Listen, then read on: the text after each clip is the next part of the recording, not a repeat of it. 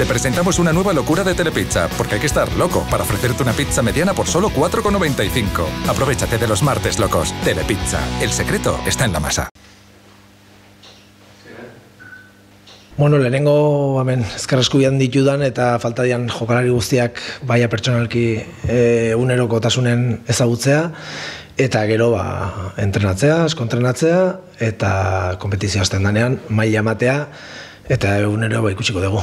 Nik uste e, fetxa hoetan horrendik e, gariz, gariz dala, ez? El, el buru bat jartzeko eta, elmuga bat jartzeko. Gero igual hori kontra, kontra etortzen zaigu, beraz nik uste paso, paso kajon bergala, e, lehenengo horre demoraldi potente bat egin, e, ondo entrenatu, metodologia pixka bat e, asumitu, eta gero kompetizia azten danean, ba, bari, ikusiko dugu behar nun, jartzen gaituen, eta bari, obsesionatu ez? Bez, e, nik uste totokeri badala, ez? E, oin ez dakiz zer el, elburu markatzea, eta oraindik nik uste ez naute zautzen, nik beraiek gehienak ez ditut haindik pertsonalkita ezagutzen, orduan, ba, gara izek iruditzen zait, e, bainungo helbururi jartzeko. Bueno, ba, nik uste Nik uste dut talde konpentsatu bat e, daukagula, ba, ba, batzuk e, erabaki dute ba, errealean ez jarraitzea, beste batzuk apostu egin dute errealean e, jarraitzagatik, eta bueno, aposten geha, apostu eta aurrera, aurrera mandako paso horregatik, ez, beste jokalari batzuen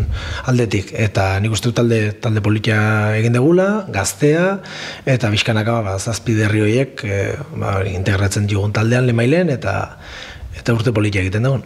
Bai, bizka maialenek esaten zuen bezala, e, begin ditugun fitxaketak bai, e, nez eta gazteak izan, e, ba, bizkat e, garnetan, esperientzi handikoak dira, e, oin Europa jolasten ari dira, esanet, baina pixka kilometro batzuk eta partidu batzuk bat dituztela lehenengo e, mailan, eta beraz, ba, ez, ez digu inongo beldurrek ematen, etorri dian e, guztiak, eta ba, e, kanpora joate erabaki duenak, e, ba, bueno, eskartzen dugu, ba, postu egin dutenak, elditu dianak, eta goiekin zentratu barri eta bueno, joan dienak, ba, berain erabaki izan da, eta, eta gustu gaude, ba, gelditu diren guztiekin. Lehenengo jardunaldian, ba, ba, lehenengo gelditu nahi ez, eta gero jolasten hasiko gea, eta ikusiko dugu, ba, pixkanaka, oain eh, nik uste dute ez dago gula informazioa, eta gara dala ba, inungo helbururik eh, jartzeko, ez ez errea kopa, ez lehenengo biak, ez, ez geistea, esanet dana irikita dago, eta nik uste dut pixkanaka, ba, jungo dela partidua jolasten, ez, asko kesatu dute, ba, mar,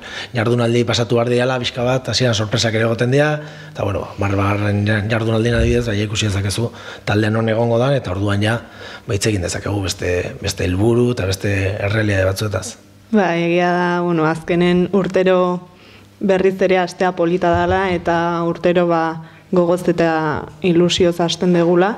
Orain ba taldea egia da gazteagoa dela, baina gaztetxo horiek ere beraien esperientzia ere badute lehenengo mailan eta beraien ilusio horrek eta nik uste taldea goruntzera bango dutela eta hori oso garrantzitsua da guretzat ere.